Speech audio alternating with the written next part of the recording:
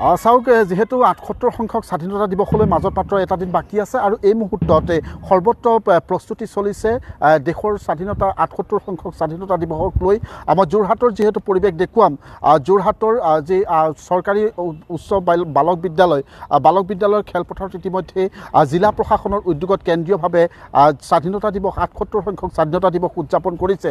আৰু ইতিমধ্যে আমি যদি চাওঁ এই মুহূৰ্ততে আৰু অৰ্ধসামৰিক সামৰিক বাহিনী আৰু আৰক্ষী প্ৰশাসন সকলোৰে কিন্তু ইয়াতে আহ, আৰক্ষী প্ৰশাসনেই হওক বা চি আৰ পি এফ জোৱানেই হওক বা ভাৰতীয় সেনাৰ জোৱানেই হওক বা scout scouts N C C প্ৰতিটো আচলতে বিভাগৰে দেখিবলৈ পোৱা গৈছে। খুব সুন্দৰ ইয়াতে মাৰ্চ পাৰ্চ প্ৰদৰ্শন কৰা পৰিলক্ষিত হৈছে। আৰু যিহেতু ইয়াতে যোৰহাট জিলাৰ কেন্দ্ৰীয়ভাৱে ইয়াতে আয়োজন কৰা হ'ব বৰ্ণাঢ্য কাৰ্যসূচী লোৱা হৈছে। আৰু আমি গোটেই কথাখিনি জিলা উপায়ুক্ত আছে পুলক মহন্ত ডাঙৰীয়া আছে আৰক্ষী অধীক্ষক আছে চিতাংগ মিশ্ৰ ডাঙৰীয়া। আমি দুয়োগৰাকীৰ পৰা গোটেই কথাখিনি অকণমান জানিব লাগিব কি কি কাৰ্যসূচী থাকিব। বা এইবাৰ এই যি আহ, স্বাধীনতা আঠসত্তৰ সংখ্যক স্বাধীনতা দিৱসৰ কেনে প্ৰস্তুতি চলিছে গোটেই কথাখিনি আমি জিলা উপ- আয়ুক্ত ডাঙৰীয়াৰ পৰা গোটেই কথাখিনি জানিবলৈ চেষ্টা কৰিম। যিহেতু ছাৰ প্ৰস্তুতি চলি আছে গোটেই কথাখিনি কেনেকুৱা ধৰণৰ কাৰ্যসূচী হ'ব কোনগৰাকী মন্ত্ৰীয়ে আহ, ইয়াতে আহ, পতাকা উত্তোলন কৰিব গোটেই কথাখিনি কোনগৰাকী মাননীয়ে পতাকা উত্তোলন কৰিব এতিয়া আমি চৰকাৰৰ পৰা পাবলৈ আছে কিন্তু এগৰাকী ভি ভি আই পি আহিব। আমি সেই মহাত্মা গান্ধীৰ প্ৰতিমূৰ্তিত মাল্যাৰ্পণ কৰাৰ পিছত আমি তেখেতক ইয়ালৈ আনিম। তেখেতে অভিবাদন ল'ব। তাৰপিছতে তেখেতে ৰাইজৰ উদ্দেশ্যে দুআষাৰ ক'ব কুচকাৱাজ হ'ব আৰু যিহেতু এইবাৰ খুব গৰম আমি এটা সংক্ষিপ্ত কালচাৰেল ফাংচন আমি ৰাখিছোঁ প্ৰায় বিছৰ পৰা পঁচিছ মিনিট।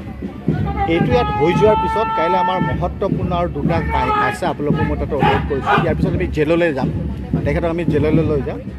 তাত কাৰাগাৰছে কা- কাৰাগাৰছে কাৰিকৰ বুলি এটা অনুষ্ঠান হ'ব। আমি তাত কাৰাগাৰছে কাৰিকৰ আমি অনুষ্ঠান তাত আমি মাননীয় যিগৰাকী দেৱী আহিব তেখেতক ইনোগ্ৰেট কৰিম। তাৰ পৰা আমি মেডিকেল কলেজলৈ যাম। তাত প্ৰসূতি বিভাগৰ তলত থকা এটা চেণ্টাৰ আমি আধাৰ চেণ্টাৰ বনাইছোঁ আৰু এটা বাৰ্থ চাৰ্টিফিকেট চেণ্টাৰ একেলগে বনাইছোঁ। যিহেতু আমাৰ যেতিয়া নৱাগত এটা নৱজাতক এটা জন্ম হ'ব মাক দেউতাকে যেতিয়া যোৰহাট মেডিকেল কলেজত ওলাই আহিব আহোঁতে আধাৰ কাৰ্ড আৰু চাৰ্টিফিকেটখন লৈ আহিব বাৰ্থ চাৰ্টিফিকেট। এইকেইটাত মই আপোনালোকক অনুৰোধ কৰিছোঁ সকলোৱে আপোনালোকে যোগদান কৰক। আৰু আপোনালোকে জানে আজিৰ পৰা হৰ ঘৰ তিৰংগা চলি আছে ঘৰ ঘৰ তিৰংগা। আজি অলপ কথা আমি ক'লেই আপোনালোকৰ সন্মানীয় চেনেলৰ যোগেদি ৰাইজক সজাগ কৰক সকলোৱে যাতে এই পবিত্ৰ দিৱসটিত যোগদান কৰে নিশ্চয় অত্যন্ত ভাল লগা এটা কথা। আৰক্ষী অধীক্ষক ডাঙৰীয়া আছে। মই যিহেতু গোটেই কথাখিনি স্বাধীনতা দিৱস বুলি ক'লে আমাৰ মনলৈ নব্বৈ দশকৰ যিটো পৰিৱেশ সেই পৰিৱেশটো আজিকালি নাইকিয়া হৈ গৈছে। এটা সুন্দৰ বাতাবৰণ আহিছে। সকলোৱে খুব সুন্দৰভাৱে উদযাপন কৰে। আৰু যোৰহাটো ব্যতিক্ৰম নহয়। আৰু কেনেকুৱা ধৰণে প্ৰতিৰক্ষাৰ দিশটো বা নিৰাপত্তাৰ দিশটো কেনেকুৱা ধৰণে চাই থকা হৈছে এইকেইদিন? মানে এতিয়া আমাৰ ইয়াত পৰিৱেশটো ভাল হৈছে। তথাপিও আমি সদায় সতৰ্ক থাকোঁ। আৰু আমাৰ যি নাইট গাৰ্ডিং আছে চেকিং আছে সেইবিলাক ইণ্টেনচিভলি চলি আছে। আৰু দুটা আমাৰ পৰেড গ্ৰাউণ্ড ইয়াত আছে যোৰহাট ডিষ্ট্ৰিক্টত এটা তিতাপুৰত আছে এটা আপোনালোকে ইয়াত চাই আছে গভৰ্ণমেণ্ট বইজ স্কুল দুটা ঠাইত মই ৰাইজক আহ্বান জনাইছোঁ যে তেওঁলোকে আহে আৰু এইটো পৰেড আহ, নিশ্চয়কৈ। ইতিমধ্যে এয়া আছিলে যোৰহাট আয়ুক্ত।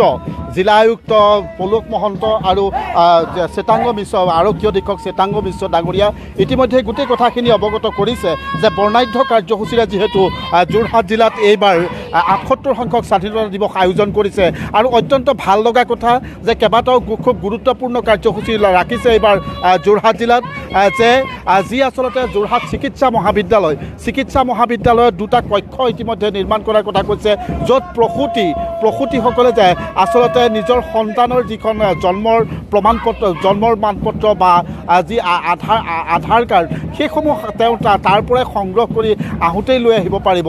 এনে এক সুন্দৰ ব্যৱস্থাৰ কথা কৈছে। আৰু যিহেতু ইয়াতে আজি এই মুহূৰ্তলৈকে ঠাৱৰ হোৱা নাই যে কোনগৰাকী মাননীয় মন্ত্ৰীয়ে এই- যি আচলতে যোৰহাট জিলাৰ কেন্দ্ৰীয় যি স্বাধীনতা দিৱসৰ যি অভিবাদন গ্ৰহণ কৰিব সেয়া এতিয়াও স্পষ্ট হোৱা নাই। কিন্তু আৰক্ষী প্ৰশাসন আৰু আৰক্ষী প্ৰশাসনেই হওক বা প্ৰতিৰক্ষা বাহিনীয়ে খুব সুন্দৰভাৱে ইয়াতে যি আচলতে শেষ আখৰা বুলি কৈছোঁ যে মাৰ্চ পাৰ্চৰ শেষ প্ৰস্তুতি ইতিমধ্যে পূৰ্ণগতিত চলাইছে। খুব সুন্দৰভাৱে ইয়াতে সকলো প্ৰস্তুতি চলোৱা হৈছে। আৰু আৰক্ষী অধীক্ষকগৰাকীয়ে এইটো কথাও কৈছে যে যোৰহাট জিলাতে যাতে খুব সুন্দৰভাৱে এটা সুন্দৰ পৰিৱেশ ইতিমধ্যে আহিছে। আৰু ইয়াত কোনো যাতে কোনো ধৰণৰ অপ্ৰীতিকৰ পৰিস্থিতিৰ উদ্ভৱ নহয় বা কোনো ধৰণৰ কোনো আচলতে তেনে পৰিৱেশৰ সূচনা নহয় তাক লৈ সকলো দৃষ্টি ৰখা হৈছে।